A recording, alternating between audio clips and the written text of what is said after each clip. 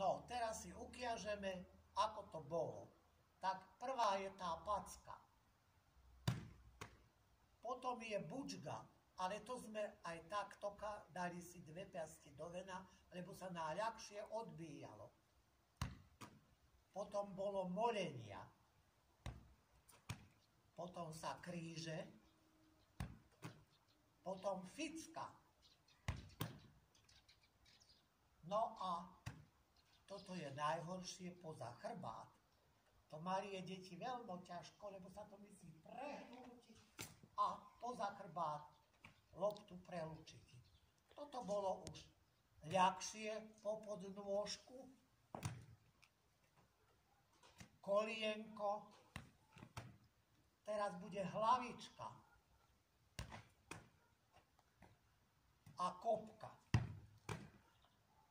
No a teraz je to, čo som spomínal, poza chrbáto som sa myslel kuknúť, že by som dobre vrhol. A teraz bude to najťažšie, táto otočka. Jaj! No, a teraz kto skončil, prvý toho kráľ išiel kráľovati a teraz kráľ odbíjal a ten, čo bol prvý, chytal. Ak sa chcel stáť kráľom, nesmela mu lopta tri raz vypadnúť, lebo keď mu vypala tretí raz, tak išiel sa kráľovať ten, čo bol na druhom meste. A medzi túto škôlku potom išli výške, ale najskôr išli dĺžke. Čiže spravil krok do zadku a chytal.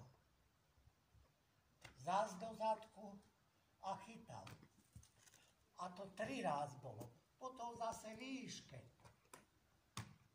A vždy vyššie. A potom boli aj chytanie, také bežanie. No. A na ostatok boli klanke. To sme volali, že klanke, lebo už kráľ nevedel, že čo, ako, toto, že čo spraví, ako robí, toto, a tak šumto.